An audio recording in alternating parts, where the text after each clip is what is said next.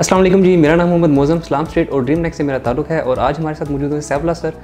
इनसे कुछ सवाल करते हैं। अस्सलाम वालेकुम सर। वालेकुम सर आजकल देखने में है बैरिया टाउन में जो बिल्डिंग प्रॉपर्टीज़ हैं जो बैरिया की बिल्डिंग प्रॉपर्टीज़ हैं स्पोर्ट्स सिटी विलास टेने की विलास उनमें एकदम सेल परचेज अचानक से बढ़ गई है। तो इसकी क्या वजह हो सकती है? क्या वजह है? अच्छा उसमें ना दो तीन चीज़ें हैं। एक तो चीज़ ये कि अभी बहरिया टाउन के अंदर प्राइसेस जो कम हुई हैं तो डेफिनेटली ये एक ऐसी जगह है जिसमें लोगों ने आना भी है, रहना भी है और लोग इस चीज़ को फोर्स भी कर रहे हैं कब अच्छा टाइम आता है तो वो बाइंग करें। तो एक तो ये थी कि प्राइसेस कम हुई और उस प्राइस कम को जैसे कहते हैं, इसको अपॉर्चुनिटी को अवेल करने के लिए लोगों ने रश किया और उसको परचेज़ किया।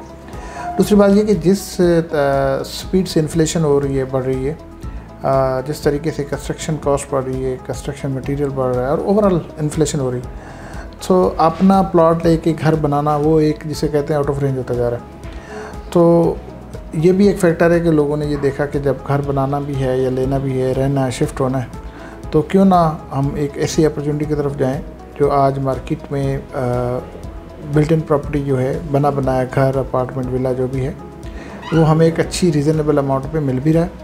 और सेकंड ये कि अगर दूसरी ऑप्शन पे जाते हैं तो वो अपने घर बनाने में बहुत सारे जो जिसे कहते हैं आपके हाथ में ऑप्शंस होती हैं, जिसमें आपको पेमेंट इकट्ठा नहीं करनी होती। अकोमोडेशन अपनी मर्ज़ी से करते हैं, लेते हैं फिनिशिंग अपनी मर्ज़ी से करवाते हैं।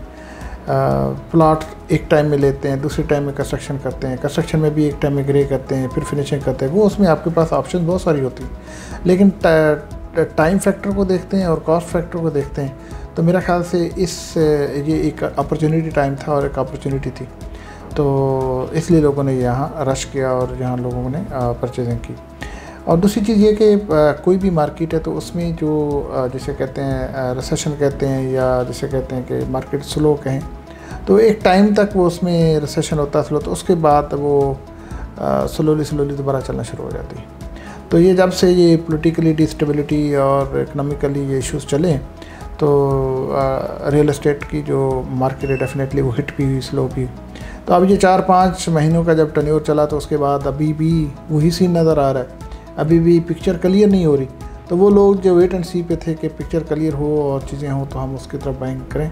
तो वो एक टाइम तक वेट किया, किसी ने चार महीने, किसी ने दो महीने, किसी ने छः महीने। तो दोबारा उन लोगों ने अपनी मूवमेंट स्टार्ट की और बाइंग स्टार्ट की। तो इनफैक्ट ये दो तीन चीज़ें हैं और कभी भी कोई भी मार्केट जो है वो उसमें अप्स एंड डाउन होते हैं। अ, हमारे मुल्क के जो हालात हैं वो आज कल तो ज़्यादा ही ख़राब है लेकिन डे फ़र्स्ट से सिनेरियो तो कुछ इसी से मिलता जुलता चला आ रहा है। सो मुल्क भी चलता है चीज़ें भी चलती हैं मार्केट्स भी चलती हैं डिफरेंट सेक्टर भी चलते हैं तो उन्होंने चलना ही चलना होता है। तो ये जो गैप था उस गैप का जो मोमेंटम क्रिएट हुआ एक उस मोमेंटम की वजह से सेकेंडली ये कि प्राइसेस कम होने वाली एक अपॉर्चुनिटी थर्ड ये कंपैरिजन में जाते हैं जो कंस्ट्रक्शन कास्ट है और बिल्ट इन प्रॉपर्टी तो इन सारी चीज़ों की बेस पे आज मार्केट में बिल्ट इन प्रॉपर्टी की ट्रांजेक्शन अच्छी हो रही हैं और ये जनवरी से शुरू हुई है ये जिसे कहते हैं मूवमेंट ज़्यादा. और आज फरवरी में तो अच्छी खासी वो जान पकड़ गई और मैं समझता हूँ कि ये पेस हर आए दिन इंशाल्लाह बढ़ती जाएगी. और सही बात तो ये कि बिल्ट इन प्रॉपर्टीज़ में बहुत सारी ट्रांजेक्शन हुई हैं। इसके अलावा प्राइवेट कंस्ट्रक्शन जो लोग कर रहे हैं उसमें भी ट्रांजेक्शन हुई है लेकिन ज़ाहिर बिल्ट इन में ज़्यादा हुई हैं। इसके साथ साथ प्लाट्स में और बाकी ट्रांजेक्शन भी स्टार्ट हो रही हैं और अल्हम्दुलिल्लाह मार्केट में जान रही है। अलहमदिल्ला thank you so much sir अ, इसके साथ ही मैं दीजिए इजाज़त अगर आपकी बैरिया टाउन कराची में कोई भी क्यूरी हो बिल्डिंग विलास के हवाले से स्पोर्ट्स सिटी विलास या फिर कंस्ट्रक्शन के हवाले से तो आप कॉन्टैक्ट कर सकते हैं दिए गए नंबर पर थैंक यू सो मच